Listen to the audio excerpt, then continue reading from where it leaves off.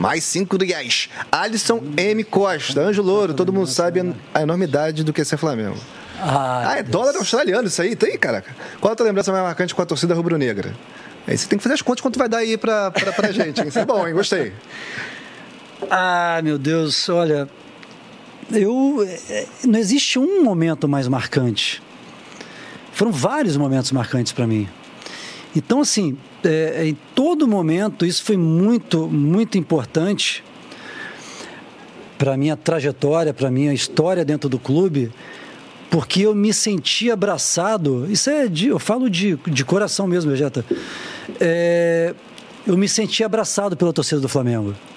Em momentos difíceis, momentos ali que eu não estava bem em campo, mas ao mesmo tempo tinha aquele empurrão, aquele grito, gritar o meu nome.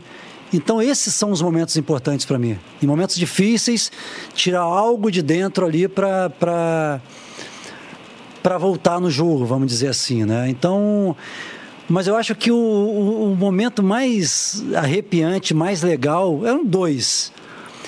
É antes de começar o jogo, quando gritava os nomes, e a torcida gritava eu, eu, sabe, é um terror. Ali mexia, ó. Tô...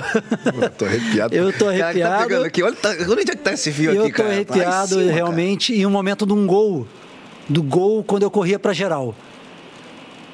Ali, automaticamente era geral, porque a galera ficava ali correndo, pulando, driblando junto, comemorando.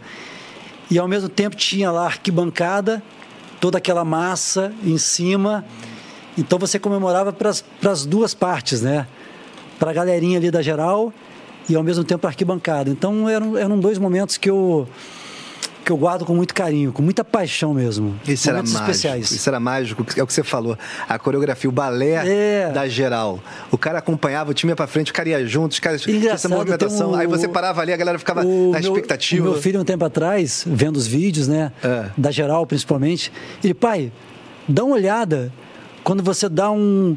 Você para a bola, você dribla, você corta a galera da geral corta junto com você, ele dribla junto e pula junto. E eu comecei a reparar isso um pouco nos vídeos. Muito legal. Eu dava um drible, a galera driblava junto. E é muito legal. Isso... Qual dos filhos que, que falou isso? Você ah, lembra? foi o, o Breno mais velho. Ah, que legal. O Breno e o Lucas, os três acompanham direto, né? Mas eu não lembro bem quem, se foi o mais velho ou o mais novo. Mas eles me chamaram a atenção, acho que ele me chamou a atenção ali, o, é, para eu, eu reparar. E realmente eu reparei e era isso mesmo. A galera jogava junto.